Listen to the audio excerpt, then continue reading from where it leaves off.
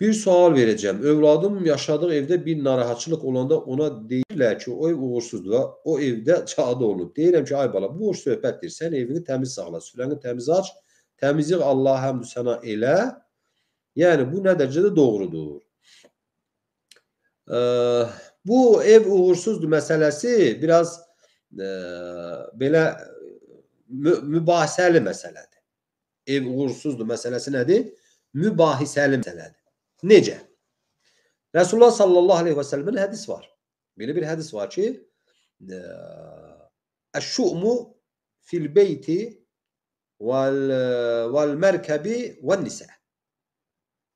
Səhv eləmirəmsə, əgər hədisin mətnində e, uğursuzluq evdə, minəkdə və qadındadır.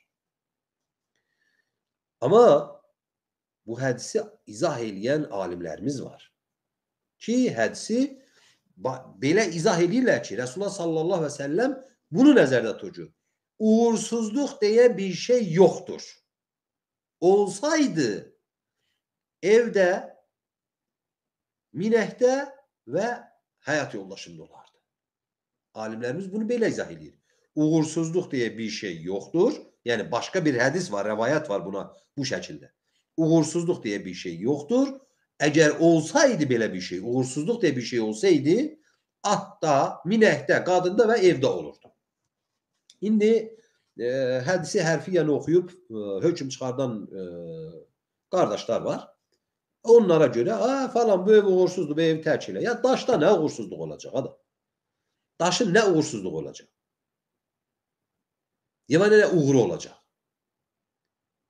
Betonun nə uğursuzluğu, nə uğuru olacaq?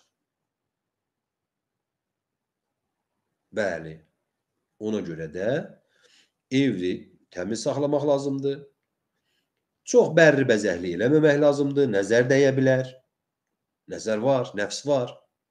Həddən artıq komfort doğru deyil. Doğru deyirsiniz, doğrusu buyurursunuz ki, evini təmiz saxla, süfrəni təmiz saxla. Caduya gəlincə, caduya gəlincə bu başqa bir mövzudur. E, Allah şərindən qorusun. E, muhtemel hallardan biri də ola bilər ki, e, cadu olunup. Bunu da artık bilenler bilir. O bizim mevzumuz değil.